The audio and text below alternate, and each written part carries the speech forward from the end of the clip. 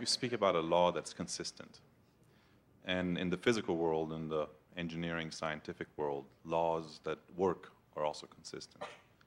Everything is. And- Everything is law-based. That's why it works.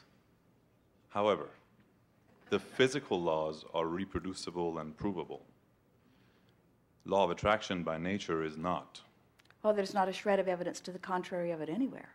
There's never been anything more proved or provable, ever. Well, I've, Name If- one thing. it's like no matter what you try to prove, law of attraction would yield that. See what I mean? So if somebody sets out to disprove that this stuff doesn't work, you know, if I'm happy it's not going to work, their vibration is going to impact their study. Yeah, isn't that good? Prove Isn't that good? They get what they expect. That's law of attraction. Ex- right, but it's a catch-22. Um, Oh, it's a win. It's a win, win, win, win, win. I, I get that. I get that. It's We're what I'm. what- torturing you. It's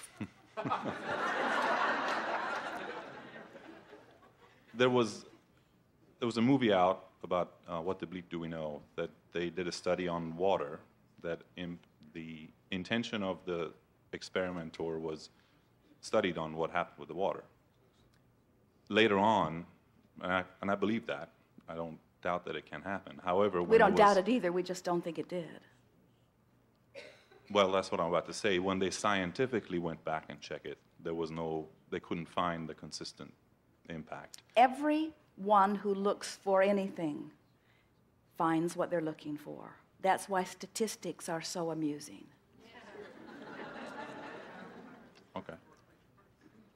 Law of attraction says that which is vibrationally likened to itself will match up with, meet up with, join with that which is likened to itself. In other words, the law of attraction says that whatever it is that you are vibrationally offering is coming to you and will be reflected fully in your experience.